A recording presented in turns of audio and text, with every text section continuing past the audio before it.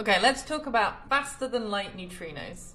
So to start with, as far as we know, nothing can travel faster than the speed of light in a vacuum.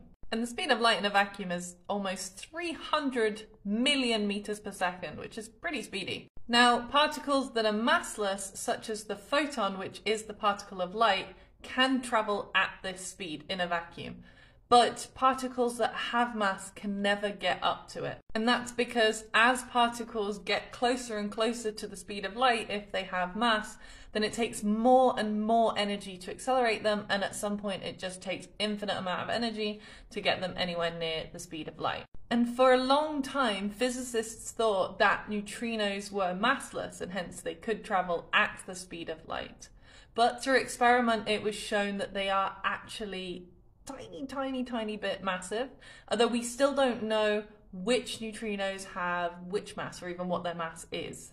So then, if neutrinos have mass, why do people think that they travel faster than the speed of light?